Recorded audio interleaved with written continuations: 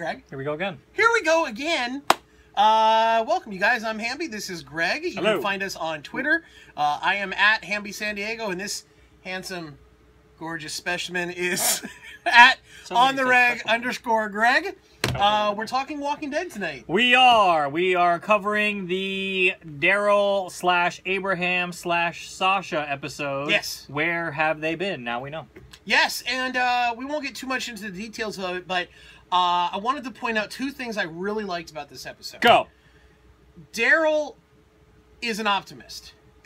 Yes, behind that grizzled face of his. Yeah, but unlike any other character in The Walking Dead, the the actual zombie apocalypse has been good for him, and it's shown him humanity. It's it's it's brought leadership out of him. Yeah. He you know he'll challenge Rick and say we need to go out and find people. When Rick says no, we shouldn't, and then Rick will come around and go no, you're right. Yeah. We do need to go out and find people. And so even even in the midst of they've just been attacked and his bike is down and he's off in the forest by himself and he's been knocked out and he's been tied up, Daryl's still going to do the right thing. And at the and at the end when they turn on him, he still has that moment. He sees him in the rearview mirror and he's like, "Ah, crap, come on!"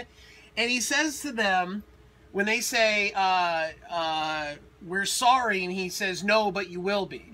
I took that two ways. One, he'll probably beat somebody up the next time, not kill him because he is compassionate. But if this is how you act, you're, you're not going to survive.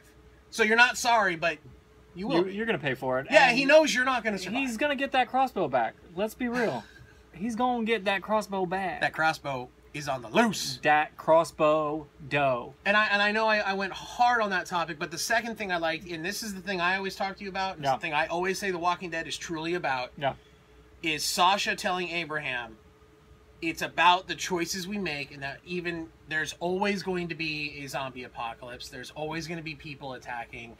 There's always going to be traffic on the road. There's always going to be that person that pisses you off at Starbucks. But it's the choices you make and taking and accepting responsibility for them that truly matters.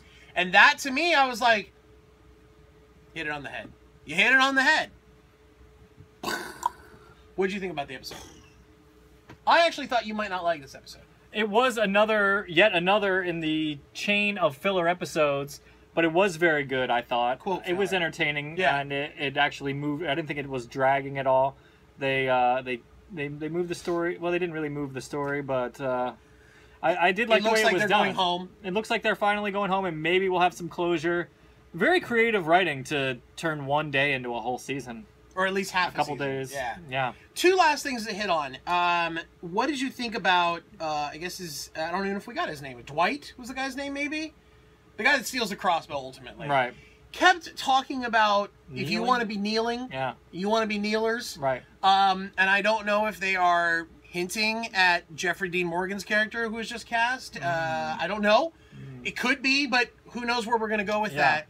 And the second part of that is, uh, uh, I, I, I lost my train of thought. Doesn't matter. Anyway, Perfect. yeah. One what'd you- point. so what'd you think? I was just wondering what was I didn't really understand the fuel plant. How was that overrun in the time that they were not at the fuel plant? Zombies.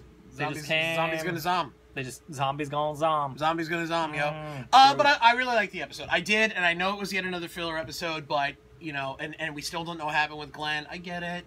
But I, I enjoyed it. I liked seeing Abraham and Sasha vibing off each other, maybe Yeah. vibing a little too much. His other uh, flang, she's still alive back at the uh, Rosita! camp. Yeah, she's still kicking. Not for long. No, I'm just kidding. we'll see what happens. What do you know? What did you guys? Uh, I have no idea. What did you guys think of the episode? Uh, please leave us comments down below. YouTube.com slash Hamby Plays Games. We've had a request to do Into the Badlands videos. I don't know.